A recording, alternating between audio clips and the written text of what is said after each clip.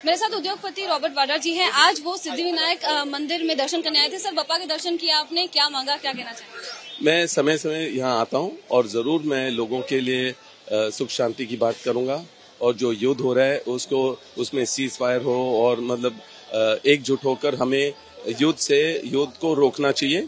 और वहाँ मुझे लग रहा है बिल्कुल किसी का भला नहीं होगा। जो भी हम देखते हैं टीवी पर, जो बच्चों के ऊपर और महिलाओं के ऊपर अत्याचार जो हो रहा है, जो मौतें हो रही है, उससे खाली दुख हो रहा है सबको और गलत है ये सब। तो ज़रूर मैं उसके लिए यहाँ मैं ज़रूर आता हूँ समय समय पे आता हूँ सिद्धि विनायक और मैं ज़रूर ये बोलूँगा कि खुशी और शांति होनी चाहिए यहाँ।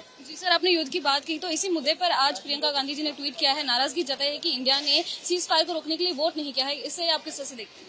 ज़रूर मैं उनके साथ जो वो कह रहे हैं, मैं उसमें सहमत हूँ और ज़रूर इंडिया को, मैंने जैसे बताया सीज फायर की बात रखनी चाहिए और युद्ध से किसी का लाभ नहीं होगा और किसी देश को भी उसका एडवांटेज नहीं लेना चाहिए और मैं यही बोलूँगा फिर से कि जो मौतें हो रही हैं और जो मुश्किलें हो रही हैं बिल्कुल सबको बहुत दुख से और युद्ध को रोकना चाहिए। राजस्थान में अब पाँच राज्यों में चुनाव होने वाले हैं। राजस्थान में चुनाव के पहले कांग्रेस के नेताओं पर ईडी की कार्रवाई हो रही है। इसी किस तरह से देखते हैं क्या तैयारी है कांग्रेस की और कांग्रेस की स्थिति कैसी है चुनाव के पहले? देखिए बीजेपी का प्रचार में ज़रूर एजेंसियों का दुरुपयोग होता है।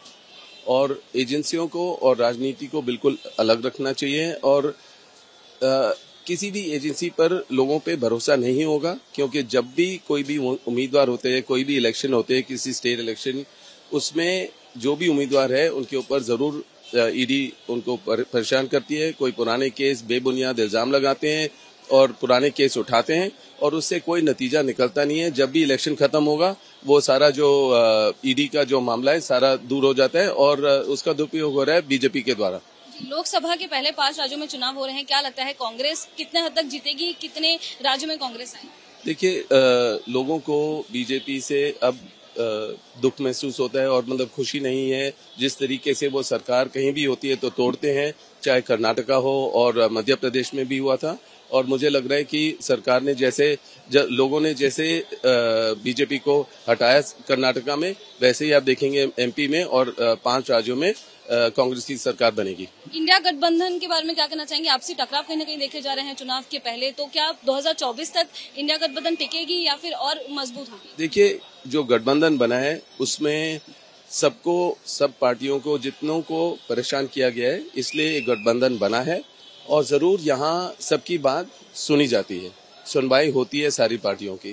तो ये बीजेपी में नहीं होती है इसलिए वो बीजेपी के साथ नहीं रहेंगे कोई भी ऐसी पार्टी। अब यहाँ जो ये चलेगा सबकी सुनवाई होगी जो जो इश्यूज़ हैं वो सुनेंगे और उसका हल ढूंढेंगे और कोई इश्यू नहीं है एकजुट होकर एक अच्छी सरकार बनाएँगे आगे 2024 में भारत के लिए। आखिरी सवाल सर पूछना चाहूँगी। 22 जनवरी को प्राण प्रतिष्ठा की बात कही जा रही है राम मंदिर में। चुनाव के पहले बीजेपी का जिस तरीके से उन्होंने तैयारी की थी राम मंदिर को लेकर अब आखिरकार वो हो, हो, होने जा रहा है इसे आप किस देखिए हमें सेक्युलर रहना चाहिए। हमें लोगों की नौकरी की बात सोचनी चाहिए, महिला की सुरक्षा की बात सोचनी चाहिए और भेदभाव की राजनीति से दूर रहना चाहिए।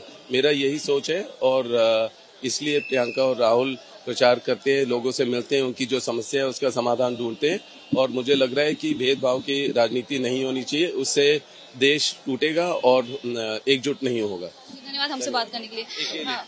जैसे कि हमारे साथ धन्यवाद सर हमसे बात करने के लिए। आ, हमारे साथ रॉबर्ट वाड्रा जी थे। जैसे कि आपने देखा कि उन्होंने कई मुद्दों पर बात की एबीपी न्यूज़ से और आ, आज वो मुंबई के प्रसिद्ध मंदिर सिद्धिविनायक मंदिर में पहुँचे थे आ, दर्शन करने के लिए और उन्होंने कहा कि जिस तरीके से इसराइल और फिलिस्तीन में लगातार युद्ध चल रहा है और इसी कारण से वो यहाँ पे आए थे और यहाँ पे प्रार्थना करने आए थे और उन्होंने कई मुद्दों पर एबीपी न्यूज़ से बात की। कैमरा पर्सन गजानन के साथ मैं लता शर्मा एबीपी न्यूज़ मुंबई।